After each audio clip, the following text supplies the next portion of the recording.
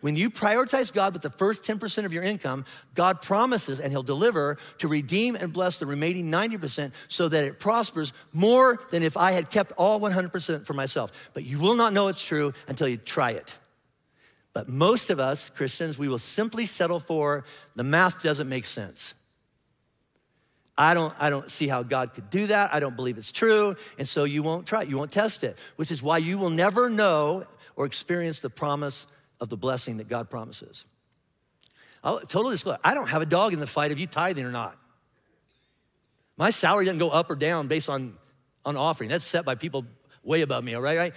Your obedience in this area of life doesn't affect me in any way. The only reason I'm teaching, well, there's two reasons I'm, I'm, I'm teaching you this, all right? And I wish I would have taught it to you years ago, all right?